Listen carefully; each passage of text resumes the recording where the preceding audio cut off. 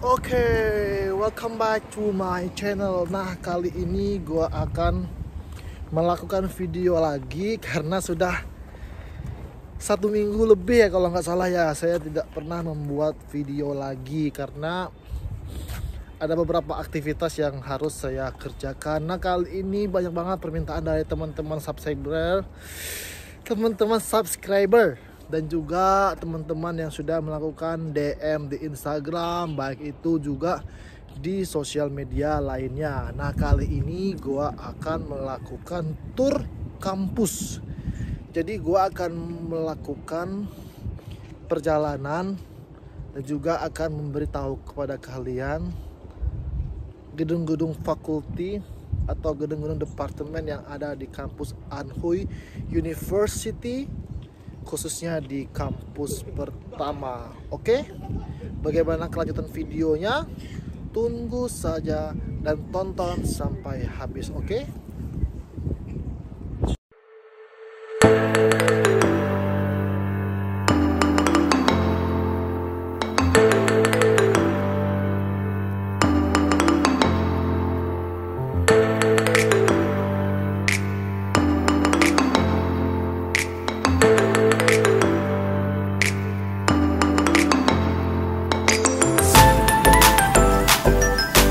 Sebelum kita melakukan perjalanan tour fakulti atau tour departemen yang ada di kampus satu Anhui University, saya akan memberitahu kepada kalian beberapa juga beberapa asrama yang ada di dalam area kampus satu Anhui University. Oke, ini yang pertama. Yang pertama adalah dormitory Nanlo. Ini terdapat dua lantai ini adalah uh, asrama khusus asrama mahasiswa internasional. BTW gue tinggal di sini di lantai dua. Oke, bagaimana kita lanjut kita melihat ke dalam. Oke. Nah, nama asrama ini adalah Nanlo. Terdapat dua lantai. Oke, ada jemuran. Nah, ini lantai pertama ada dua tiga empat ada 12 kamar Oke, kita lantai dua. Ini dia otomatis nih lampu nih. Kalau kita naik dia hidup sendiri. Tangganya aja. Nah, ini adalah menuju kamar gua. Di sini ada 10 kamar. Ini dulunya hotel, bekas hotel. Dulunya bekas hotel, sekarang kita asrama mahasiswa internasional. Ini kamar gua. Par Lingwu 205 oke okay. oke okay, yang kedua adalah gedung dan asrama mahasiswa internasional juga yaitu gedung Tonglo ini dia Nah, ini adalah gedung kedua untuk mahasiswa internasional. Terdapat empat lantai, dan ini adalah S Building atau yang bisa disebut dengan Tonglo. Bagaimana di dalamnya? Mari kita cek. Nah, ini adalah ruang resepsionisnya. Ni hao. Nah, juga udah AI. nah, ini ruang tunggunya. Ini penjaga penjaganya. Nah, ini ruang santainya nih. Ruang santainya juga tempat bisa baca buku. Di sini ada empat lantai. Kalau kita naik atas capek, di sini ada 10 lantai di lantai pertama. Eh 8 ya 8 kamar untuk lantai pertama. Oke. Oke, yang ketiga adalah asrama mahasiswa internasional yaitu gedung Pelo. Dan dulu ini juga adalah sebuah hotel tetapi dulu ini adalah tahun 2019 itu pernah dijadikan sebagai kamar gua. Dan sekarang sudah tidak lagi. Oke? Ini dia. Dan ini adalah kamarnya nih kamar Pelo asrama Pelo mahasiswa internasional. Kebanyakan di sini sih mahasiswa Indo dan juga Kambodia. Dan juga di lantai pertama ini kantor nih. Kantor-kantor. Oke coba kita cek ya kita cek. Biasanya sih kantor lantai pertama itu kantor-kantor staff dan ketua ISO nah ini. Oke coba kita ini kayaknya kantor deh. Coba kita cek di lantai kamar dua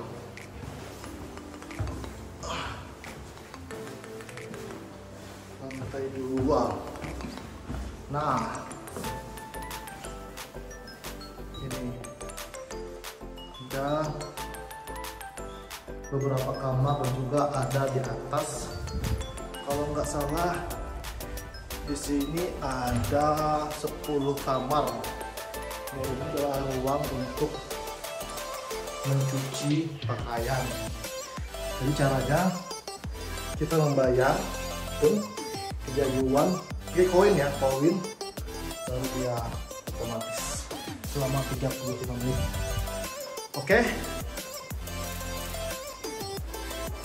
oke itu adalah tiga gedung asrama mahasiswa internasional yaitu Nanlo di tempat gua tinggal Tonglo dan sekarang adalah Pelo oke dan sekarang kita akan menuju ke seputar kampus atau departemen yang ada di Anhui University.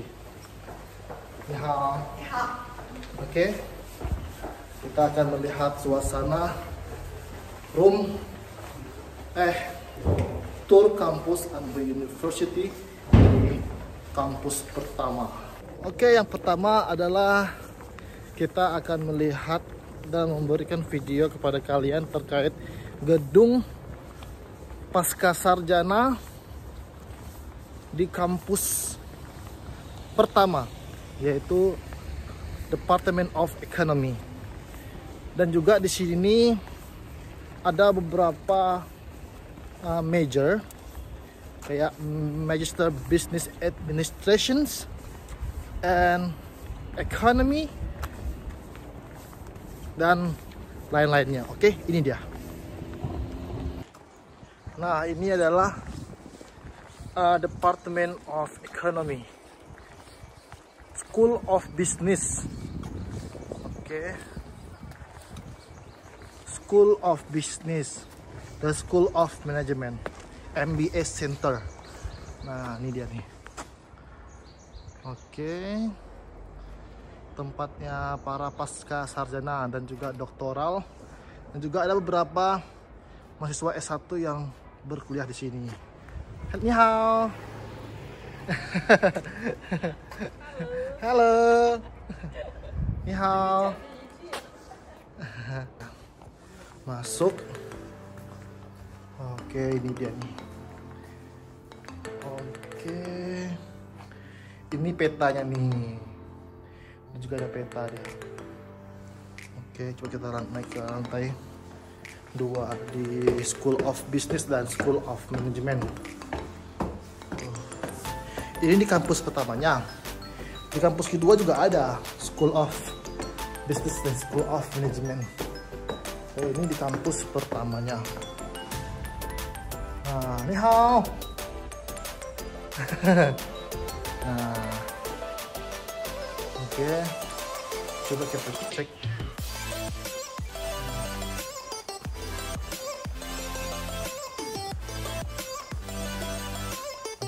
Salah ya. Oke. Center for Taiwan Studies. Oh, ini law school. Center for Taiwan Studies. Oke. Okay. Oke. Okay ini lantai 3, lantai 4, lantai 5 coba sekarang kita pindah ke gedung yang lainnya oke okay? nah ini adalah School of Internet dan juga ruang kantor research Chinese traditionals. Konghucu Confucius di sini oke? Okay? coba kita tur ke gedung ini. Di sini juga tempat saya belajar. Ni hao. Ni hao. Juga oke. School of Internet and Institute of Hui Studies and Chinese Traditional Culture Research. Di sini tempatnya para profesor di bidangku nih di sini nih. Oke, kita akan mencoba. Ini ada tempat penjaganya. Nah, ini dia. Halo. Malu-malu dia. Nah, mau centong. Oke, sini naik. Hmm. Ini tempat departemenku di sini nih belajarnya. nih. Meeting ini meeting room. Oke. Ya. It's very beautiful and very clean. Oke. Nah. Itu juga tempat pembuatan student card di juga. Oke. Uh, School of Internet tempat dan juga Department of Chinese Traditional di mana tempat saya belajar di sini. Oke, ada di lantai tiga dan juga kantornya supervisor itu juga di sini. Oke, sekarang kita menuju ke departemen yang lainnya. Kali ini cuacanya sangat bagus ya. Spring saat ini adalah spring season. Jadi suasananya sangat bagus. Ada sinar matahari tapi nggak terlalu panas. Tapi nanti kalau udah summer, bu, 40 derajat. Oke, fakultas selanjutnya atau departemen saja adalah ini. Yang paling gede ini. Di kampus satu ini, ini yang paling gede. Oke, sana.